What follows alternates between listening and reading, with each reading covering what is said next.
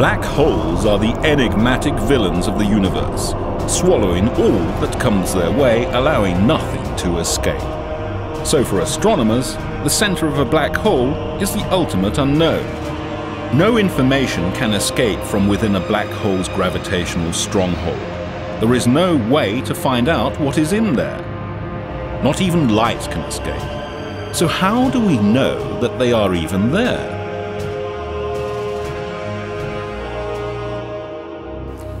Black holes themselves cannot be observed directly. However, astronomers can see the indirect effect of black holes because the one thing they do possess in abundance is gravity.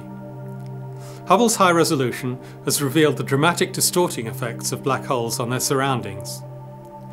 And not just gravity, astronomers find that when material is packed tightly enough around a black hole, it can ring like a bell. This is the actual note produced by a black hole some 250 million light years from Earth. It reverberates through the disk and has been altered here to fall within the range of human hearing. In reality, it's B flat, some 57 octaves below middle C. Astronomers believe that black holes are singularities, simple points in space, no volume, no extension, but infinitely dense. Black holes can be created during the final collapse of a massive star many times the size of the Sun. The stellar corpse left after the demise and collapse of a massive star can be so heavy that no force in nature can prevent it crumpling under its own weight into an infinitely small volume. Although matter has apparently disappeared, having been compacted into nothingness, it still exerts a powerful gravitational pull, and any stars or other objects that come too close can be pulled in. For any black hole, there is a point of no return called the event horizon.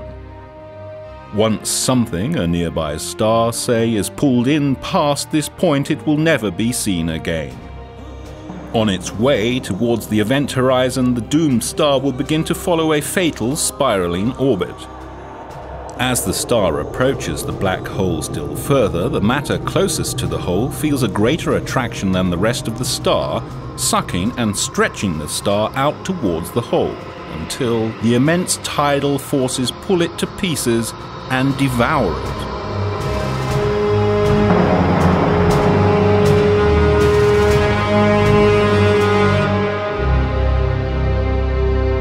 There are quirkier aspects to these objects too. A twisting of space and time that warps and slows even the passage of time. All objects with a mass deform the very fabric of space and time, but black holes do this to an extreme degree.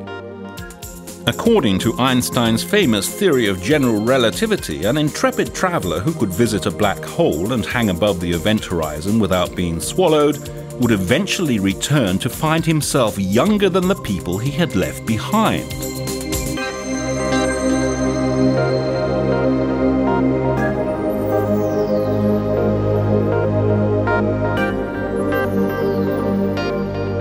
Perhaps the most curious objects astronomers have hypothesized about are wormholes.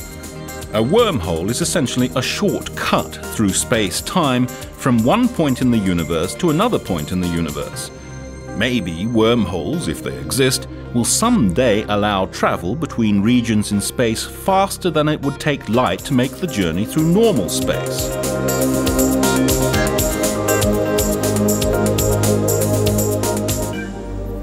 Hubble has shown that black holes are most likely to be present at the centre of all galaxies. There's one at the centre of our Milky Way, a giant, supermassive black hole, perhaps a million times bigger than those produced by the collapse of a single massive star. It could be the result of a merger of many stellar-sized black holes formed during the remote history of our galaxy. When two galaxies collide, the black holes at each of their centers will perform an elaborate dance. Long after the two galaxies have merged into one, their central black holes continue to orbit each other for hundreds of millions of years before their final violent merger into a single weighty black hole. This final process is so powerful that it changes the fabric of space-time enough that we may be able to observe it from the Earth with a new breed of gravitational wave telescopes or from special spacecraft in orbit. However, compared with the millions of years it takes for galaxies to merge, the final cataclysm at the cores would be relatively brief. So the odds of seeing such an event are small. Until as recently as 50 years ago, astronomers thought the universe was a mostly peaceful place, but this is far from the truth. Space is often shaken by violent events.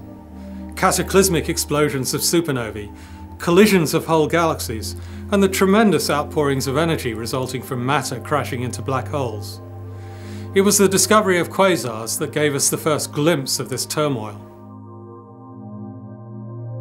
To ground-based telescopes, quasars look like normal stars, and that's exactly what astronomers first thought they were, naming them quasi-stellar objects. But quasars are in fact much brighter and further away than stars. They can shine more brightly than a thousand normal galaxies, and are powered by supermassive black holes.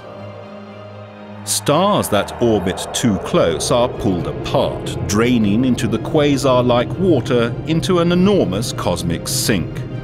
The spiraling gas forms a thick disk heated to a high temperature by its free-fall motion towards the black hole. The gas blasts its energy into space above and below the disk in colossal jets. Quasars are found in a wide range of galaxies, many of which are violently colliding, there may be a variety of mechanisms for igniting quasars. Collisions between pairs of galaxies could trigger the birth of quasars, but Hubble has shown that even apparently normal, undisturbed galaxies harbour quasars. But quasars are not the only high-energy objects astronomers have found. A serendipitous discovery is something you make whilst looking for something else. Such events have often changed the course of astronomy. Gamma-ray bursts were discovered serendipitously in the late 1960s by US military satellites on the lookout for Soviet nuclear tests. Instead of finding the most devastating detonations produced by humans, some of the most powerful blasts in the entire universe were spotted. These astoundingly energetic blasts of gamma rays are detected at least once per day from random directions in the sky. Although gamma ray bursts last only a few seconds, the energy they release is equal to the amount of energy radiated by our whole Milky Way over a couple of centuries. Gamma rays are not visible to the human eye, and special instrumentation is needed to detect them. For 30 years, no one knew what caused these bursts. It was like seeing the gamma ray bullet fly by Earth without ever glimpsing the weapon that fired it. Together with nearly all other telescopes in the world, Hubble looked for the smoking gun for many years. It observed the positions in the sky where gamma ray explosions had been seen, trying to find any object at that location. But all efforts were in vain. Until.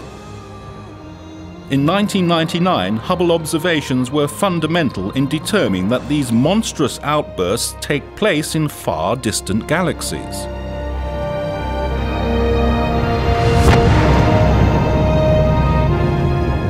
The cause could be the blast produced in the final cataclysmic collapse of a massive star. Or the dramatic encounter of two very dense objects such as two black holes or a black hole and a neutron star.